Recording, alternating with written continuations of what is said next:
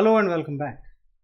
We have understood how k-nearest neighbors algorithm works and uh, the importance of feature scaling in k-nearest, k-nearest neighbors algorithm. Let us try to understand how to choose k because as a data scientist we need to specify how many closest records the algorithm should be looking into to make a decision. So if you choose too many, too small, uh, okay, that means very less number of nearest neighbors to look into, with minor changes in data, the decision boundary will change. The algorithm know, works differently with minor minor changes in the train set.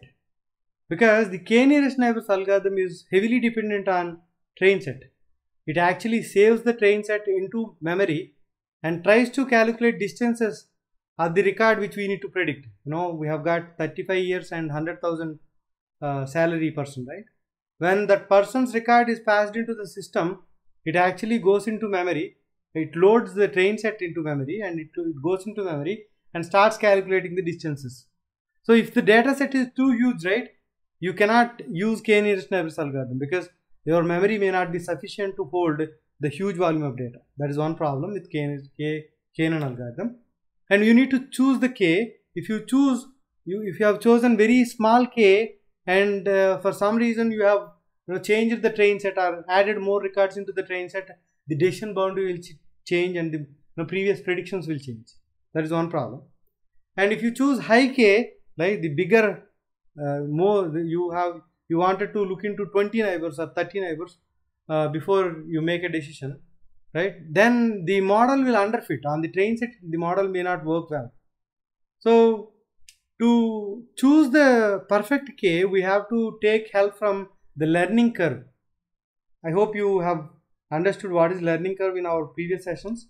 Learning curve is nothing. You take different parameters for the algorithm and try to build a model and uh, take the error and plot it which is called as learning curve and you see where the error is reducing and where the error is raising. So here what we will do is we will take uh, k is equal to 3 and try to build an algorithm and you know test it on test set, take the error, put it in the graph. k is equal to 5, we will test it, k is equal to 7, we will test it, k is equal to 9, we will test it. Like that we will test.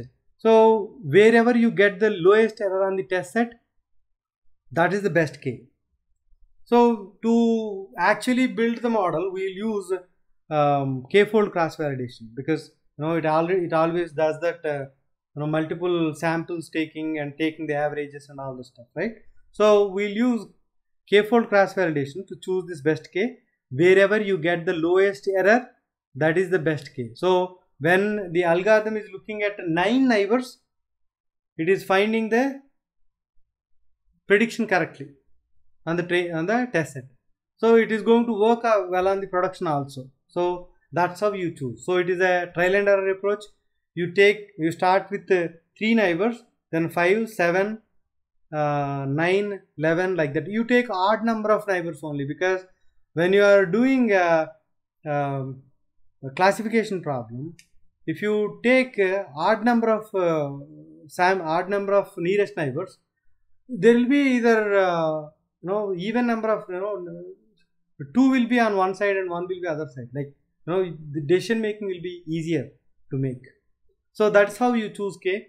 You, start with three neighbors and test the model. For five neighbors, test the model. Seven neighbors, test the model. Like that, you test it, and wherever you get minimal error, that is the best K you choose. Learning curve will help you in choosing the best K. Thank you.